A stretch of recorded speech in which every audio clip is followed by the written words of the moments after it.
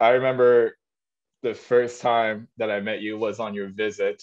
And I remember thinking, yo, this kid can really, really help us because you're a different kind of big that we had seen before. You were very agile. Uh, you were quick on your feet, uh, fast in transition. You ran like a deer. You were already strong. Uh, I think you were 17 years old when you came on your visit. And mm-hmm. I was just like, yo, we need to get this guy into Jay's jersey for sure because I thought that you could really, really help our team. Especially, I was looking in the front court with uh, Will Artino was redshirting that year, but we had Gregory Echenique and um, Kenny Lawson was about to be a senior. So I thought that you could really solidify our front court.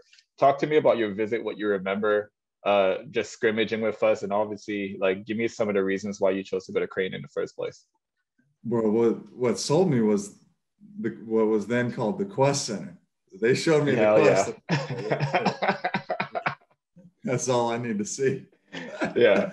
no, but uh, Coach McDermott is really uh, the selling factor that got me. I mean, he put me in his office, told me, you know, what kind of role I could have, that kind of stuff. And obviously, in my first couple years, it didn't pan out with you know a bunch of injuries and stuff. But mm-hmm. uh, yeah, I mean, playing for a coach like Coach McDermott was you know great opportunity, and I, I couldn't turn it down.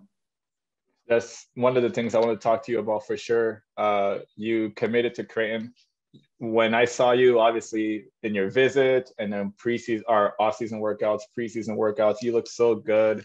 We get to around two days, and this when the injuries start to kind of pile up and start to hold you back. Uh, you had the decision with the coaching staff to redshirt uh, which kind of seems like a trend for some of the bigs at Creighton for whatever reason. Yeah, that first yeah. year, like you guys really need that first year to get your feet under you.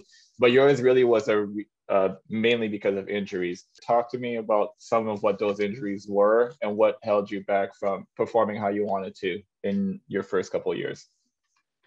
Yeah, man. Uh, the main injury was uh, my Achilles. I had some calcium deposits that were causing inflammation and just all kinds of mobility issues.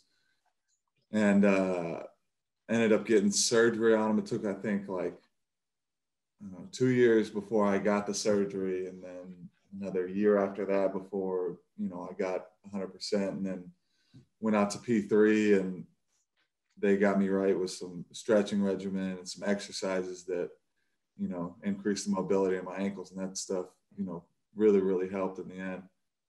But I remember I remember one summer when you were getting your Achilles surgeries. Look, obviously it's not a laughing matter. I felt for you, but bro, this was just so funny. You had two boots. You had two Achilles boots at once. Bro. And you used to try and play it off like they were just regular shoes. I'm like, bro, you can't just put your jeans over top of two boots and walk around campus like it's all good. bro, bro, I went to the bars like that, man. I remember one time we went, we went to Whiskey Tango. Yeah. Bro, we were at uh, Billy Froggs, man. Man, that's hilarious. The two boots on, man. Bro, that is so funny because I remember like being like Jeff, like, are you sure you're trying to step out with us? You're just like, yeah, man, I could do it. Just as long as I get there, I just have to sit down. Yeah, yeah, exactly, bro. That is hilarious, man. All right, so you have all these injuries. Obviously, I know you want to contribute right away. Like I said, you decided to redshirt. What was kind of going through your mind seeing our team? You know, th- that was like some of our more successful teams too. I know you wanted to be a part of that success, but like the main thing that we needed to do, we needed you to do was to get healthy. So talk about kind of the frustrations of having all these injuries always like setting you back. Well, it was more frustrating than like I can even explain, bro. Cause I like I would call my brother like crying some days, like, man, like it's so miserable for me because I know I'm a better player than what I'm showing. I mean, I get up in the mornings and I can hardly walk. Like, I mean, how can I keep, you know, going on like this? And um, I even told uh, Z, I even told Isaiah Zierden, I was like, man, I think I'm going to retire, bro. Like, I, I, can't keep doing this.